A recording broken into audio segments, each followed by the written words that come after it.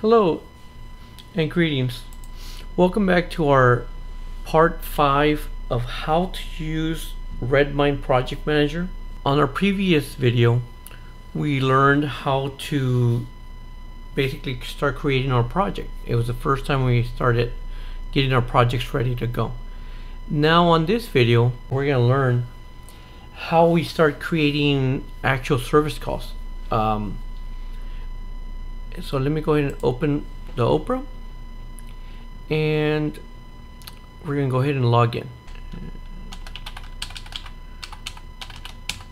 Okay, so on Redmine, um, how we we link the a service call is under an issue. So, but before we get too far, what we're going to do is go under administration and we're going to go under issue statuses. And remember how on like our video 2 we just created um, under our, our tracker or our workflow the only thing I used was new, closed, and in progress. So basically that's all we're gonna need. So I'm gonna delete, reject it. So I'm going to go ahead and press OK to this. I'm gonna delete also feedback. And I'm gonna delete resolved. So the only three things that I'm gonna have is new, in progress, and close. That way, that's all the that this particular company is to need. So once we get this out of the way, now we can go back to our projects. So let's assume that uh, a call comes in. So he or she takes the call and basically it's going to take all the information. So we're going to just assume that this is going to be um, a T&M call. Let's just assume it's a, it's a customer that does not have a maintenance contract they're not under warranty or, or anything of that nature. So um, on here, you can see under our trackers is where any, anything that has to do with that particular service. So let's assume that it's going to be a camera issue. So I'm going to go ahead and select camera and I'm going to go ahead and click on new issue right here. So here's my new issue. I'm going to select what kind of issue is going to be. So it's going to be a camera. And, you know, the, the, the subject is going to be, um, I don't know, main, main entrance, camera, oops, no video. So then on here we could actually say, let's say uh, security manager called, I don't know, I don't know if, if they would put the time, but whatever. I mean, whatever their policy, the, the, the, the customer's policy is. So security manager called um, uh, saying, I don't know, I don't know how much information you want, but I guess the more the merrier. Uh, called saying that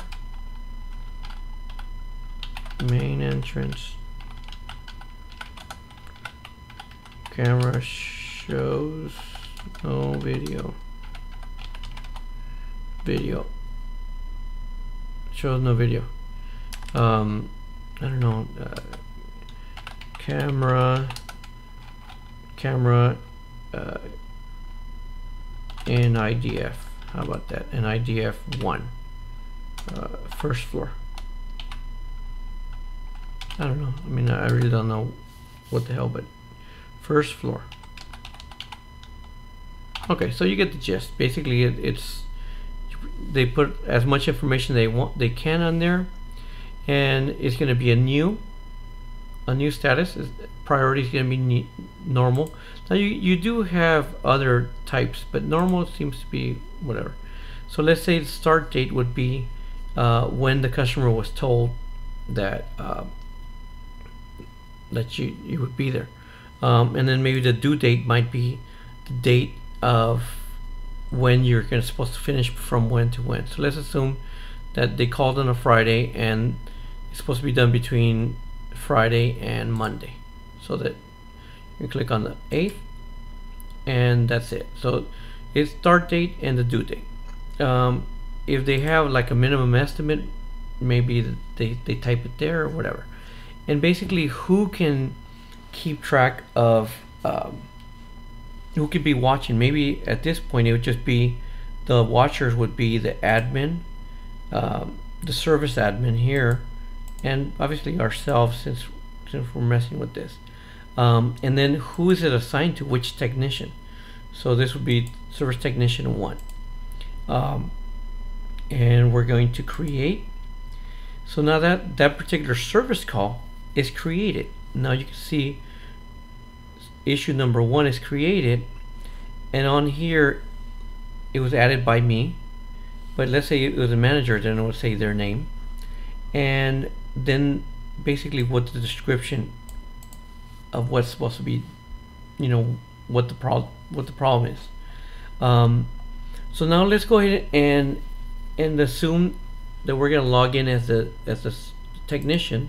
So I'm gonna sign out and now I'm gonna sign in as service service so this, I'm gonna type in service tech one. Okay so now you can see here on the right now I'm logged in as service tech one. So if I go to my page uh, yeah that's fine let's save it. If I go to my page here you'll notice that now under my page I had get an issue what my what my log is. So and the system actually works pretty good also on the cell phones. Um, I've actually have pretty much implemented with a couple customers and tablets and Androids and also uh, the iOSs they work really good. Um, so now the technician will click on the what he's supposed to be doing and well you know what I, I, I should have put on here? The, maybe the address of the customer but whatever. Because um, now he, he won't be able to see where he's supposed to go so obviously I messed up. But I mean you get the idea. So now he gets to the customer site and now he's going to go ahead and uh, either log time okay? So he's going to log let's say an hour okay? And remember how I set up under activities you can see why. Okay so it's going to be a service TNM so he's there and he realizes that yeah the customer does definitely doesn't have anything. And maybe what the comment was you know um, uh, checked uh, camera uh, oops. Camera and need to return return to with oh no return with replace it.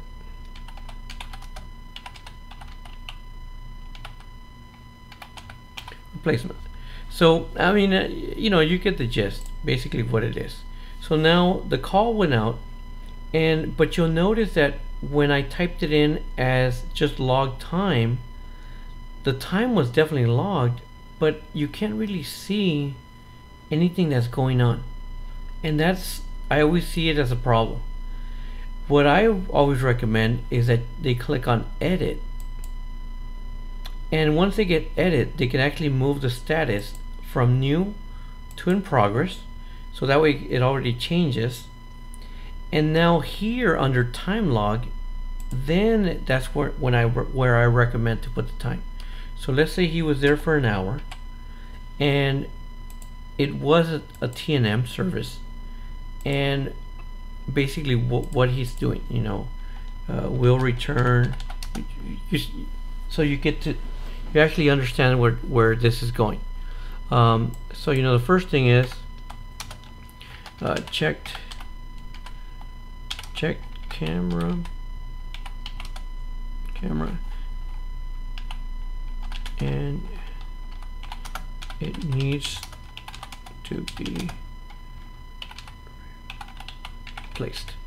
Okay, and then you know what he I guess what he's gonna do. He's gonna uh, will return return with oops replacement and, and let's assume it's an IP camera so and PoE what the hell um, and if there's a picture he could actually upload it. Now you notice by default you only have 5 megabytes that you could upload. And nowadays 5 megabyte a 5 megabyte picture is definitely very small.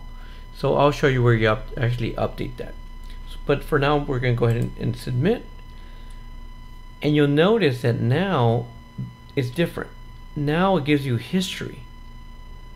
You know what he did how much time was logged and so forth um, and you can keep track of it because now you can see time spent it's been two hours. The other one it did show you that you spent an hour but it didn't show you it at a glance you can't see what's going on.